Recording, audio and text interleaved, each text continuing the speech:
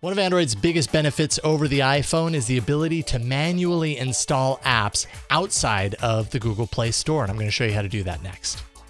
Hands on Android is brought to you from LastPass Studios. You're focused on security, but are your employees? LastPass can ensure that they are by making access and authentication seamless, whether employees are working in the office or remotely. Visit lastpass.com/twit to learn more. This is Twit.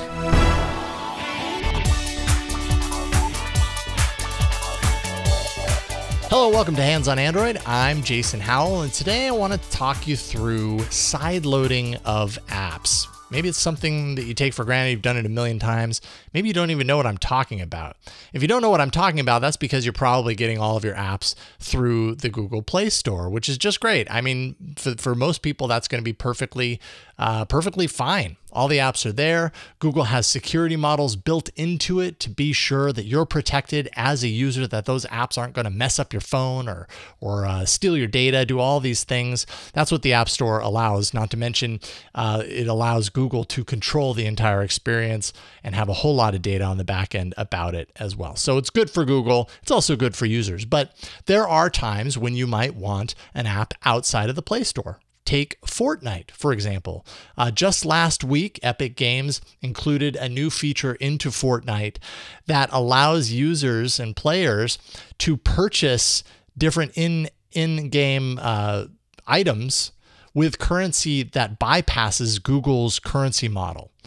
And this is actually um, not allowed in Google's terms of service for developers. Uh, if if developers are offering their app or their game through the Play Store, they kind of have to agree to the fact that any money exchange within the app is going to filter through Google's system and they're going to split the cost. It's like 30% revenue share with Google. Well, Epic Games decided, you know what, we don't like that, so we're going to do this anyways. They did it, and ultimately, what happened? Well, Google booted them out of the Play Store. Uh, Apple, consequently, also booted the uh, game out of the App Store as well. So, Epic has a whole lawsuit right now, whole antitrust thing that they're diving into as a result. Kind of seemed like that was one of the reasons that they were doing it in the first place. Uh, but that's just a guess. Uh, anyways, if you are an Android user and you want to play Fortnite and you've not installed it from the Google Play Store yet, well, you can do that still. Epic has always served up Fortnite through their website. You just have to know how to sideload apps. And thankfully, Epic actually makes it really easy for you. They walk you through the process. But I want to show you because it's a good example of how to take an install package, an APK file, which we'll talk about in a second, and install manually that app or game on your device outside of the Play Store. So we're going to dive into what what to consider, uh, should you do it, and uh, then how to do it. So first of all, sideloading is, like I said, essentially it's a manual install of an Android app. Android apps are installed from a file format called APK or Android package, and a person that wants to uh, sideload an APK needs two things. Well, first, of course, you need the APK file. You need to have that in order to load it, actually. And second, you need to change a setting on your device that will allow um, the manual install. It explicitly allows that manual install. Now, why number two? Why that second point? Well, because installing an APK actually means reducing the security model of your device. You're opening it up in order to allow for a third party app that isn't cleared or checked by Google to be installed on your device. Uh, it could be an illegitimate file. It could be, you know, something that's that's harvesting data in some bad way. Uh, Google just doesn't know, and so they've built this into Android to make it so that you, as the user, have to explicitly decide to break that security model if you want to manually install an app. Um, so this does mean like you got to be really careful and really, uh, really trusting of the place that you're getting that APK file. Right? You have to know that you trust the site um, the, or the user that's offering you that APK file. In other words, grabbing an APK off of a peer to peer file sharing network, probably a pretty bad idea, probably a good way to end up with an app that has some uh, illicit code in there that might do bad things on your device. It could be viruses, malware, any of that bad stuff. Um, one of the protection mechanisms on your device is something called unknown sources. And this is the setting that we're going to dive into. Uh, and when you deactivate that to manually install the app, uh, that allows for any app to load whatever happens to be inside of that APK file onto your device. So you really do have to be careful. You don't want to load the wrong app. So, who can you trust? Well, that really depends, and it's really entirely up to you to do your due diligence. Sometimes uh, a developer might offer up the APK file for their app or you know their game on their website like epic games is doing uh, epic does this with fortnite you go to fortnite.com slash android on your android device and it'll walk you through the steps which i'll go through in a second or if you're searching for, say, an alternative app store, which is the case with Amazon's app store for their Fire uh, devices, well, Amazon, like app stores in and of themselves are not available through the Play Store. So you can't go to the Play Store and find Amazon's App Store there. So you have to go to amazon.com slash Android app uh, on your Android device, and that'll walk you through the, the steps to install the Amazon App Store and then, you know, be able to use their apps instead of getting it through the Play Store. One of my favorite reasons, uh, getting an app before the update actually hits the Play Store, because every once in a while Google will push out an update to an app I love, and I keep hearing all these great things about it, but it hasn't hit my phone yet. I can go to a site that I trust called APK Mirror. That's apkmirror.com. It's actually run by the folks who also run Android Police, incredibly trustworthy. Uh, and uh, you know I can download that app from there and install it ahead of Google's like staged rollout. And I've done that many times, and it's really nice. In all of these cases, I trust the people that are serving up the APK. But it's up to you to do your own due diligence and feel secure and comfortable in where you're getting that APK. Uh, in other words, it's the ball's in your court to determine that. I'm not going to determine that for you. All right, with all that out of the way, how do you do it? And let's take Fortnite as the example here because Epic Games really makes this very easy and straightforward. They kind of walk you through the steps like I'm going to do. So first of all, on your device, go to fortnite.com slash Android or the site that happens to be serving the APK. In this case, I'm going to tap the Get It on the Epic Games app button. And once I tap that, it's actually going to prompt me to confirm that I want to download the file it's going to say you know, this file could harm your device. It doesn't know it's from Epic Games. It doesn't know that it's Fortnite. It's just saying, hey, when you sideload, you could harm your device, which is true. In this case, I trust Epic Games, so I'm going to go ahead and hit OK. And with that, the APK file is saved locally on the device.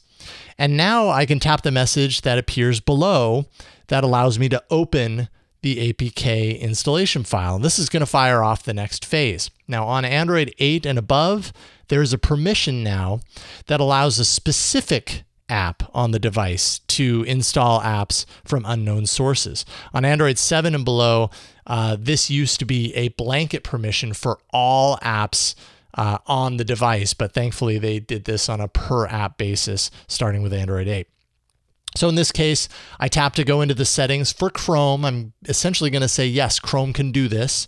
I'm going to choose to allow from this source the ability to install apps from unknown sources. And uh, from now on, I can download APKs from unknown sources using Chrome. The door is essentially wide open at this point, and we will talk about closing that door later. Now I'm going to go back, and now I'm asked if I wish to initiate the install of this APK onto the device. Uh, which I do. So I'm going to tap to install. And that's really it. It does what it needs to do. I can now open the Epic Games App Store from within there, which is essentially what I installed on my phone. And then you see I can just tap to download Fortnite. It's all managed entirely within that app. Um, and not only that, once the Epic Games app finalizes the download of Fortnite, once again, what do you uh, expect is going to happen here? It's going to ask for permissions to install that APK because I gave Chrome permission to do this. I didn't give the Fortnite App Store app permission to do this. So, uh, more and more, it's these permissions that kind of make sure that there are double checks in place to be sure I don't do something I didn't mean to do. So, no app can download and install an APK file without explicit permission by you, the user. And that's a really important thing to know.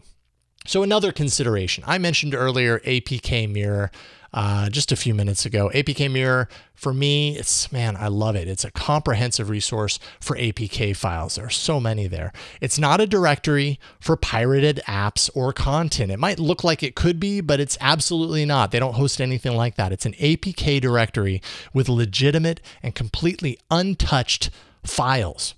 And the site itself has many uses. If you've not heard of it before, it stores a history of an app's updates. So, that app that you just love that uh, recently pushed out an update that you hate, you can now revert to an older version so you don't lose features or you get back to an old UI, that sort of thing. If an app is released by, I don't know, Google, let's just say, and it's on a rolling update schedule, like I said, it hasn't hit you yet, you can get it earlier on APK Mirror before the update is pushed to your device. I use it for that all the time. If an app isn't available in your region on the Play Store, you can find it on APK Mirror and install it from there and uh, just get it right away, even though it's not offered to you through the Play Store. Also, the app addresses a relatively new aspect of APK files, and that's something called bundles. Now, bundles were introduced just a couple of versions ago, back in 2018. And the idea with uh, with app bundles is that it breaks down apps into pieces, and only the pieces that match up with the configuration of your hardware is delivered to your phone. And the idea here is that there's so many different configurations of Android devices out there. Apps before this were just uh, you know required to have support for everything in them, which made the file size larger, took more time, used up more data, uh, all that kind of stuff. So app bundles allows the uh, Google Play Store to serve only the pieces that matter to this particular device. So it brings that file size down, makes it faster. It also complicates things as far as in installing uh, APK files. Well, APK Mirror has a solution for that. If you go to the Play Store and find the APK Mirror app and install it, this app is not a directory of the APK Mirror website. It is merely an installer that knows how to install all different types of APKs. So what you'll do is you'll go to the Chrome browser on your device and open up apkmirror.com look for that app that you want to install and you know keep in mind that the site hosts different versions of each apk file. It can be a little confusing to know which one is for your specific device configuration. And the good news here is that even if you download a, uh, an apk and it's not compatible with your device it just won't install. So it's not going to install something and then like break the app's function on your phone or anything like that. It's just not going to install if it's not right. But you can do a little research and you can find the right one you just download the apk for your app. If it happens to be a, be a bundle, then the APK Mirror uh, app is going to know how to install it specifically for your device. And if it's not a bundle, it installs the exact same way. For you, the user, you just select APK Mirror as the installer destination, and it does all the work for you. And I will also say uh, APK Mirror is ad supported. Uh, so, you know, cut it some slack. It's all good. Now, finally, it's important to take a look again at the security model that we broke here. We've installed the app, let's say, and in the process, we gave Chrome or the Epic Games app or whatever, we gave these things explicit permissions to kind of open that security door and leave it open. So now we want to close it up, right? If we don't need it right now, it's probably best from a security standpoint to close it up. So uh, once you've installed that APK file, all you got to do is go into settings, apps, and then in this case, like Chrome, whatever app it is that you gave the permission. And then in, in Chrome, I go to advanced and then find the section that says install unknown apps. I can go in there and uncheck it. And once I've done that, it's like that security door is closed again. We are good to go. All right, so you might not use this all the time. Like I said, for the majority of people, the Google Play Store is good enough. But there are reasons where you might want to install these apps outside of the Play Store. Fortnite's a pretty darn big reason. There's so many players of this game not being available through the Play Store. People are going to want to install it on their Android device. And uh, it's not difficult. There's just certain things to consider. So I hope this has been a little helpful in understanding what could go wrong, let's say, with a with a bad file that you're installing, being certain, being sure that you're getting these files from a trustworthy source And, uh, you know, the process itself is really pretty easy, as you can see. So I hope this is helpful for you. Send me your emails, your uh, tips and tricks for Android. I love to read all of them, and sometimes they make it into the show. HOA at twit.tv.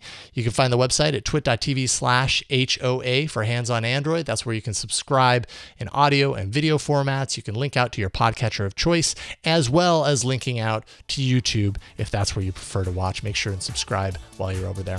I'm Jason Howell. Thank you so much for watching. Thanks to John Ashley for editing, and uh, we'll see y'all next week on Hands on Android. Bye, everybody. Be sure to check out the other shows on the network, like my other show, Hands on Wellness. I love to share different tips and tricks that's going to help you get a better grasp on your personal wellness. Just go to twit.tv slash how and subscribe now.